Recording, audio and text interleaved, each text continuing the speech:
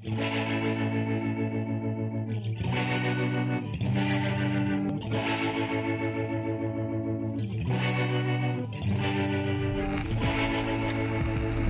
had a very vital, exciting educational program for our students. It was certainly a, uh, an important uh, part of the college. You know, how often do community college students get a chance to spend an hour with, with these um, types of uh, individuals with these minds? We had some really wonderful people. There were war activists, there were civil rights leaders here. We had Arthur Schlesinger. We had uh, the attorney Lee Bailey. Michael Crichton. Michael Crichton was on campus, Tom Wolfe was on campus, and those, those individuals do not come cheaply.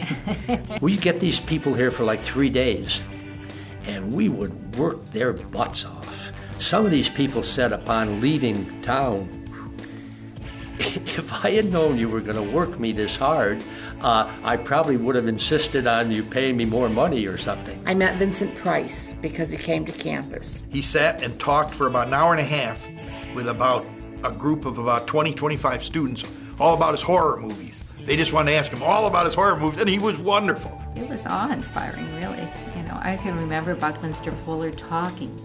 I mean, the man must have been in his 80s. 80s and he spoke for three hours. John Denver did a concert here. President Ford came on campus after he was president, and it was quite interesting he, uh, how he arrived on campus because he was late, and his limousine continued on right to the door of the library on the macadam. Uh, brought him all the way down. So he, to the door. To the door he, of the he library. Popped the curbs. they popped the curbs. Now we had Ralph Nader here twice and it was during the 70s. I can't tell you the exact year. I said, I'll go out to the airport. He's flying in the Chemung County Airport. I'll go out and pick him up at the airport, you know? So, boom, I go out there and I wait and I pick him up and I help him with his luggage. and We walk out to my car and he said, This is your car? I said, Yeah. He said, Are you serious? First he was he was angry.